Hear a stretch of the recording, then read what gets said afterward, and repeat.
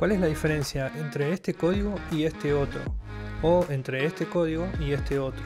Conocer cómo funcionan los selectores en CSS puede ser la diferencia entre escribir mucho y poco código. Mi nombre es Ivo y en este video vas a aprender la magia de los selectores. Bueno, y para comenzar con el video, lo primero que tenemos que saber es qué son los selectores. Los selectores es la manera que tiene CSS, valga la redundancia, de seleccionar un elemento HTML para aplicarle los estilos, ¿ok? En este caso, acá estamos viendo uno de los más simples, que es la selección por elemento. O sea, nosotros acá estamos utilizando el div para decirle que a todos los divs le aplique estos estilos. También podríamos decirle que a todos los elementos, esto lo hacemos con el asterisco, que el asterisco significa wildcard, que en español sería algo así como comodín. Entonces nosotros lo que vamos a hacer es decirle con el asterisco que a todos los elementos, independientemente de cuál sea la etiqueta, nosotros le vamos a aplicar los estilos que hayan acá adentro. Por ejemplo, le voy a decir font size 14 píxeles. Entonces acá qué va a pasar, independientemente de cuál sea la etiqueta, si es un H1, H2, H3, un párrafo, una lista, lo que sea, todos los elementos van a tener un font size de 14 píxeles, ¿ok? Y para este punto no voy a entrar mucho en detalle ahora porque voy a hacer un video puro exclusivamente para hablar sobre la especificidad en el video que viene. ¿Ok? Pero bueno, para que tengan una idea es las reglas, eh, hay varias maneras de seleccionar elementos y según de qué manera nosotros seleccionemos un elemento va a tener mayor o menor importancia, ¿ok? Pero esto lo vamos a ver en el video que viene. Ahora, para continuar con las selecciones. Bueno, acá ya vimos, con, el asterisco podemos seleccionar todos los elementos. Con el div estamos eh, directamente seleccionando el elemento HTML. Después podríamos venir a nuestro index HTML y, por ejemplo, a este div que está acá le podemos asignar un ID que sea eh, elemento verde. Le vamos a decir que va a ser el ID de esto. Entonces nosotros desde CSS podríamos simplemente venir acá y decir elemento verde y lo que hacemos es entre llaves le definimos cuál va a ser por ejemplo el color. Le vamos a decir green. Ok entonces cuando guarde esto elemento verde no elemento verde grabo y ahora vamos a ver que en este caso estoy seleccionando el elemento este por el ID entonces acá en el caso del ID acá no le importa si es un div o si es un h1 lo que sea. Yo esto lo podría transformar en otra cosa. Por ejemplo vamos a decirle que esto va a ser un h3 un h3 perdón y cuando guarde vamos a ver que esto me lo convierte en un H3 y me deja el fondo de color verde, ¿ok? Porque acá en este caso estoy seleccionando por su ID independientemente de cuál sea el elemento. Y otra manera muy común de seleccionar elementos es utilizando la clase. Con punto nosotros le decimos que va a ser una clase y ahora lo que hacemos es indicarle cuál va a ser esa clase. En este caso le vamos a decir elementos elementos violeta. Vamos a ponerle por ejemplo y entre violetas y entre llaves le vamos a decir background color violet y ahora lo que tenemos que hacer es asignarle utilizando el atributo de clase class y acá entre las comillas le vamos a decir elementos violetas. Entonces ahora cuando grabo esto le va a pegar el violeta. Y ahora lo que puedo hacer es copiar esto a estos otros dos elementos. Y ahora van a tener todos el fondo violeta. Entonces de esta manera yo puedo aplicarle estilos a todos los elementos div utilizando la clase. Ahora también podría asignárselo a esto pero acá está pasando otra cosa de fondo que esto lo vamos a ver en el próximo video con especificidad. ¿ok? Bien, también lo que podemos hacer es seleccionar los elementos, por ejemplo, por algún atributo. Vamos a decirle que esto va a tener, eh, no sé, vamos a poner un ancho de 400 píxeles, ¿ok? 400 píxeles, grabamos esto y ahora lo que puedo hacer es, en los estilos CSS, puedo decirle que cualquier atributo, esto lo hacemos con los corchetes, le vamos a decir width, le vamos a decir igual a 400 píxeles y ahora vamos a definir un estilo, vamos a decirle background color yellow. Entonces, acá qué pasa? Acá lo que va a hacer es que cualquier elemento que tenga, por ejemplo, un ancho de 400 píxeles, va a tomar el color amarillo. ¿ok? Entonces esto quiere decir que también le podemos asignar estilos utilizando los atributos que tenga eh, nuestros elementos HTML. También podemos utilizar la pseudo clase hover, que el hover es el evento que se produce cuando nosotros pasamos el mouse por encima de algún elemento. Por ejemplo, le voy a decir a este elemento que va a tener un background color de aquamarine. Entonces cuando yo pase el mouse por encima de cualquier elemento, vamos a ver que cambia a este aquamarine. Y también por último, dentro de los considerados selectores básicos tenemos los pseudo elementos, que en este caso se declaran utilizando dos veces los dos puntos y le decimos por ejemplo before y ahora les voy a mostrar un ejemplo básico, que esto igual no se preocupen, después lo vamos a ver más en detalle. Pero ahora para que vean que existe, ¿ok? Entonces ahora vemos que me agregó una flechita delante de cada elemento, ¿ok? Entonces de esta manera también podemos aplicar estilos eh, en CSS, ¿bien? Bueno, y ahora vamos a ver los selectores que son un poco más avanzados, ¿ok? En este caso, como primer ejemplo, lo que vamos a empezar haciendo va a ser ver cómo podemos seleccionar, por ejemplo, todos los divs que están dentro de otra etiqueta específica. En este caso voy a utilizar como ejemplo que nosotros ya tenemos la etiqueta main y dentro de este main tenemos los cuatro divs. Entonces nosotros acá lo que podríamos hacer para seleccionar todos estos divs que están acá, podríamos utilizar por ejemplo decirle main, el selector seguido de un espacio y le decimos div.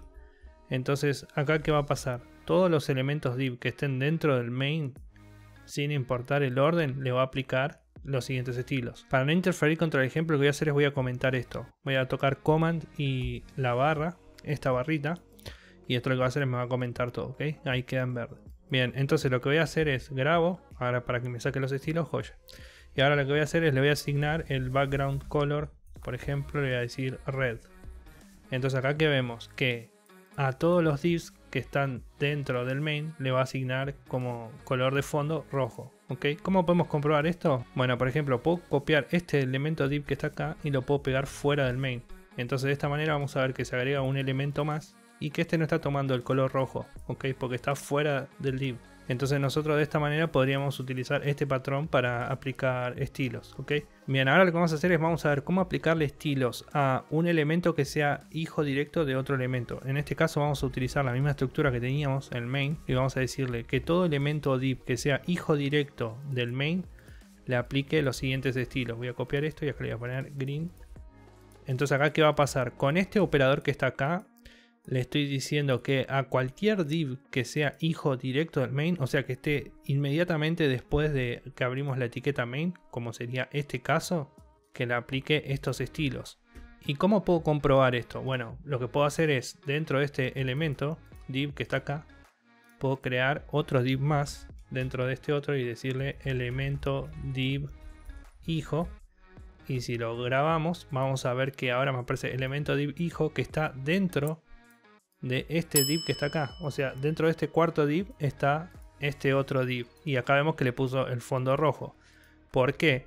Porque acá no importa el orden, si es hijo directo o no, a cualquier div que haya dentro del main, independientemente cuál sea el nivel, le va a aplicar el rojo. Y acá en el caso del div solamente le va a aplicar los estilos a los que sean primeros. O sea, a los primeros div que aparezcan después del main le va a aplicar este green. ¿ok?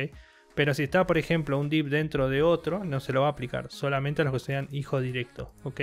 También tenemos otro selector que es el que podemos hacer con el operador de suma, por ejemplo. En este caso lo que vamos a hacer es voy a escribir un background color yellow. Y acá qué va a pasar. En este caso lo que hace este operador es que le dice que al primer elemento div que encuentre seguido de un main le va a aplicar este color amarillo. Acá en este caso vemos que se lo aplicó al último div. ¿Por qué? Porque es el primer div que encontró después de main. ¿Ok? Bien, y el último de los combinatorios, a diferencia del del operador de suma, que lo que hace es aplicárselo al primer elemento, tenemos otro que se llama, por ejemplo, le vamos a poner h1 y le vamos a decir que se hace con el tilde h2. Entonces, este lo que hace es que a cada elemento h2 que encuentre después de un h1 le va a aplicar los siguientes estilos. Le vamos a poner background color, vamos a decir aqua. Acá en este caso no se lo aplicó a ningún elemento porque no tenemos ningún H1 y H2. Lo que voy a hacer es lo voy a generar con Emmet. Para esto voy a hacer, primero voy a abrir paréntesis, voy a escribir H1 y entre llaves le voy a decir lorem.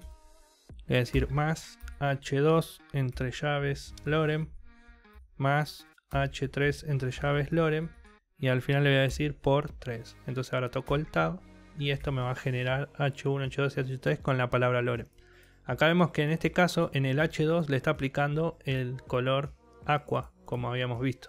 Y acá vemos que en este caso se repite muchas veces, o sea, cada vez que encuentra el patrón, un H2 después de un H1, un H2 después de un H1 y otro H2 después de un H1, ¿ok? Entonces, estos que están acá se llaman selectores combinatorios o complejos, según de la página que lean o el foro que encuentren. Eh, en algunos lados lo llaman como complejo y otros lados lo van a llamar como combinatorios. Hay muchos ejemplos en internet sobre esto, ¿ok?